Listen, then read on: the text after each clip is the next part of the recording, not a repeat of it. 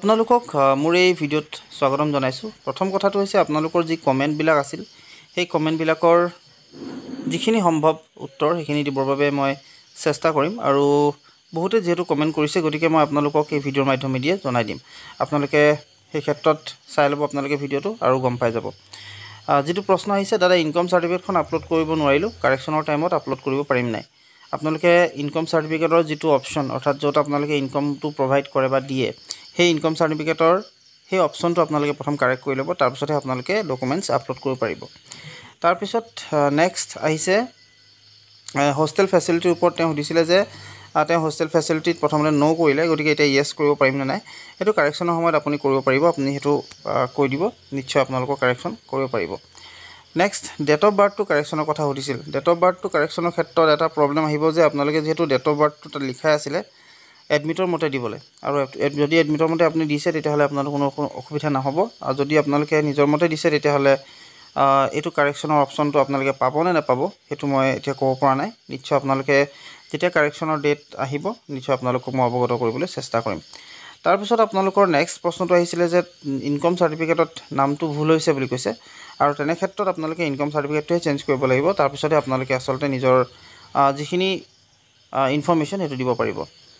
Third ছেমিষ্টাৰত minor subject change কৰিব পাৰিনে সাধাৰণতে মাইনৰ ছাবজেক্টটো চেঞ্জ কৰাৰ যিটো অপশ্যন সেইটো আচলতে থাৰ্ড ছেমিষ্টাৰত পাৰিবনে নাই মই কেইজনমানক সুধিছিলোঁ কিন্তু তেওঁলোকে আচলতে এইটো ক্ষেত্ৰত খুব অৱগত নহয়। থাৰ্ড ছেমিষ্টাৰত পাৰিবনে নোৱাৰে? আপোনালোকে যদি কলেজত যায় যিখন কলেজত পঢ়ে তাতে আপোনালোকে ছাৰ বাইদেউসকলক সুধিব নিশ্চয় আপোনালোকক এই ক্ষেত্ৰত হেল্প কৰিব। চাৰি পাঁচ তাৰিখে কলেজ ছিলেক্ট কৰিলে একো প্ৰব্লেম নহয় ন? চাৰি পাঁচটা কলেজ ছটালৈকে কলেজ আপোনালোকে পাব ইয়াত ছিলেক্ট কৰিবৰ কাৰণে। আৰু গতিকে আপোনালোকে চাৰি পাঁচটা নহয় ছটা ট'টেল কলেজ আপোনালোকে ছিলেক্ট কৰিব পাৰে। আৰু প্ৰত্যেকখন কলেজতে বেলেগ বেলেগকৈ আপোনালোকে ক'ৰ্চ দিব পাৰে।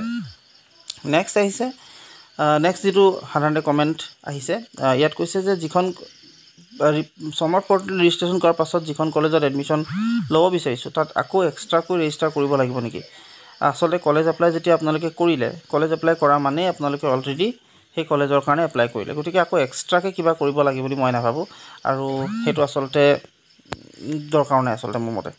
তাৰপিছত আছে নেক্সট বি এছ চিৰ ওপৰত এটা ভিডিঅ' বনাব দিছিলে। গতিকে যিহেতু বি এৰ ওপৰত অলৰেডি মই বনালোৱেই বা বি এ এটা দেখাই দিছোঁ এটা এক্সাম্পল হিচাপে। গতিকে আপোনালোকে বি এছ চিটো তেনেকৈয়ে কৰক গোটেই প্ৰচেছখিনি চাওক। তাৰপিছত আপোনালোকৰ আহিছিলে নেক্সট এপ্লাই ইন কলেজৰ যি অপশ্যন সেইটো কৈছে কি যে তেওঁৰ অহা নাই।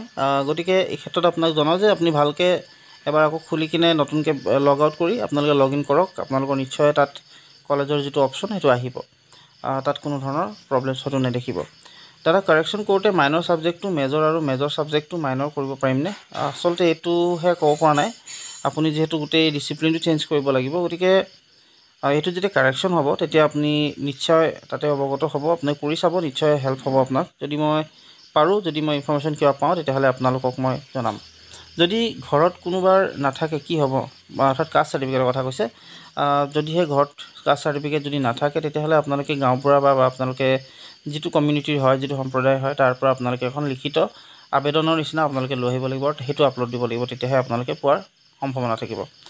ছেকেণ্ড জুনৰ পাছত ফৰ্ম ফিল আপ কৰিলে নহ'ব নেকি ছাৰ ছেকেণ্ড জুনৰ পিছত যিহেতু ছেকেণ্ড জুন আপোনালোকৰ লাষ্ট ডেট হৈছে কলেজ এপ্লাই প্ৰফাইল চিলেকশ্যন লগতে আপোনালোকৰ প্ৰফাইল বনোৱা প্ৰগ্ৰেম চিলেকশ্যন গোটেইখিনি হয়। গতিকে দুই তাৰিখলৈকে দিছে। যিহেতু তিনি তাৰিখে আপোনালোকৰ যিটো ডেট আচলতে আপোনালোকৰ যিটো এডমিশ্যনৰ ডেট ফাৰ্ষ্ট মেৰিট লিষ্ট সেইটো ওলাই যাব। গতিকে মোৰ মতে ছেকেণ্ড জুনেই লাষ্ট আপোনালোকক দিব। চ' সেইটো কাৰণে ছেকেণ্ড জুনলৈ আপোনালোকে কৰি ল'ব। ইনকম চাৰ্টিফিকেট কেনেকৈ এডিট কৰিম? অপশ্যনটো নাই যে জনাবচোন। ইনকম চাৰ্টিফিকেটখন এডিট কৰাৰ যিটো অপশ্যন এইটো এতিয়া আপোনালোকে ইনকম চাৰ্টিফিকেট যদি এডিট কৰিব বিচাৰিছে সেইটো এডিটটো আপোনালোকে ইনকম কৰিব নোৱাৰে। আপোনালোকে তিনি চাৰি তাৰিখ যিটো ডেট দিছে আপোনালোকৰ কাৰেকশ্যনৰ সেইদিনাখন ৰখক নিশ্চয় আপোনালোকে সেইদিনাখন কৰিব পাৰিব।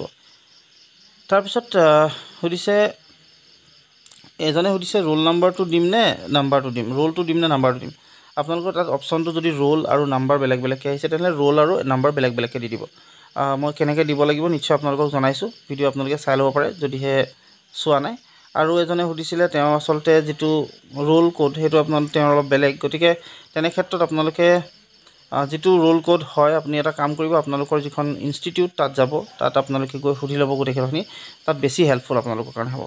ক্লাছ টুৱেলভ কনফাৰ্মেশ্যন ইনভেলিড দেখাই আছে তাৰ কাৰণে এপ্লাই কৰিব পৰা নাই। কি কৰিব লাগিব? ভালদৰে আপুনি দিয়ক। গোটেই বস্তুখিনি ভালদৰে ভৰাওক। ছাবজেক্ট কম্বিনেশ্যনটো আপোনালোকে ভালদৰে দিয়ক। ইংলিছ আছামিজ য'ত দিয়া দিব লাগে। অলটি য'ত দিব লাগে। বা আপোনালোকে যিকেইটা ছাবজেক্ট দিছে গোটেইখিনি ধুনীয়াকৈ দিয়ক আৰু সেইখিনি কৰাৰ লগে লগে নিশ্চয় আপুনি হেল্পফুল হ'ব। আৰু যদি আপুনি পৰা নাই তেতিয়াহ'লে আপোনালোকে কোনোবা কেফেত যাওক বা কম্পিউটাৰ দোকান যিবিলাক আছে তাত যাওক আপোনালোকে তাতে কৰি ল'ব পাৰিব। টুৱেলভৰ মাৰ্ক ভৰাওঁতে ছটা ছাবজেক্টেই দি দিলোঁ কিবা প্ৰব্লেম হ'ব নেকি? একো প্ৰব্লেম নহয় আপোনাৰ। কোনো ধৰণৰ অসুবিধা মোৰ মতে হ'ব নালাগে। স্মট স্পট এডমিশ্যন কেনেকৈ ল'ব পাৰি তাৰ বিষয়ে এটা ডিটেইল ভিডিঅ' লাগে। মই নিশ্চয় আপোনালোকৰ কাৰণে জনাই দিম। স্পট এডমিশ্যন কেনেকৈ আপোনালোকে ল'ব পাৰিব সেইটোৰ বিষয়ে আপোনালোকক ডিটেইল এটা ভিডিঅ' আপোনালোকে পাই যাব। তাৰপিছত এজনে সুধিছে আপোনাৰ কম্পিউটাৰ চেণ্টাৰ আছে নেকি? মোৰ কম্পিউটাৰ চেণ্টাৰ নাই। দাদা মোৰ ছাবজেক্টটো ভুল হৈ গ'ল কিন্তু কেনেকৈ এডিট কৰিম?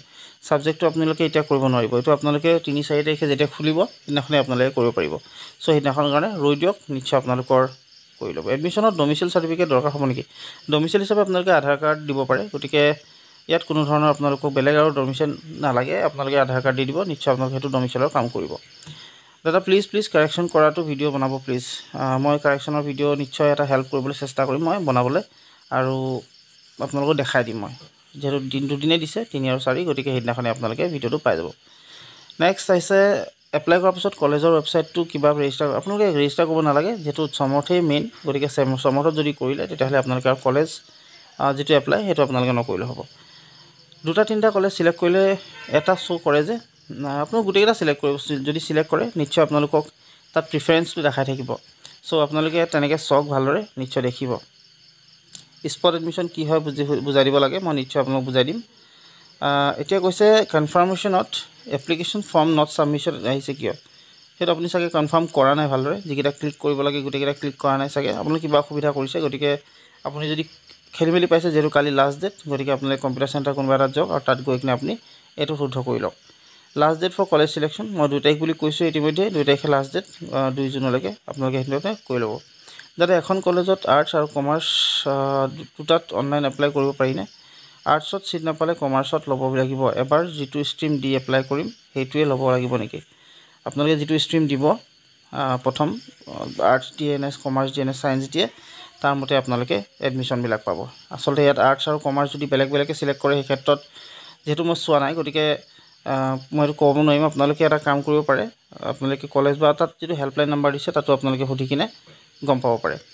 দাদা মোৰ এটা প্ৰব্লেম হৈছে যে বহুলত ইনকম চাৰ্টিফিকেটত বেলেগ ফটো দি দিছোঁ। এপটো সেইটো আপুনি পিছত চেঞ্জ কৰি ল'ব। এইটো অসুবিধা নহয় আপোনালোকৰ। কাৰেকশ্যন উইণ্ডত যেতিয়া অ'পেন হ'ব আপোনালোকে নিশ্চয় চেঞ্জ কৰিব পাৰিব। চ' এইখিনি আপোনালোকক জনালোঁ। আশা কৰিলোঁ ভিডিঅ'টো আপোনালোকক হেল্পফুল হ'ব।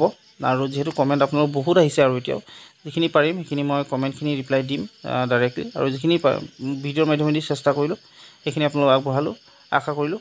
ভিডিঅ'টো যদি ভাল পাইছে তেতিয়াহ'লে যিমানখিনি পাৰে আপোনালোকে শ্বেয়াৰ কৰিব। চ' আজিলৈ এইখিনি কথা জনাই এই ভিডিঅ'টোৰ পৰা বিদায় মাগিছোঁ। ধন্যবাদ।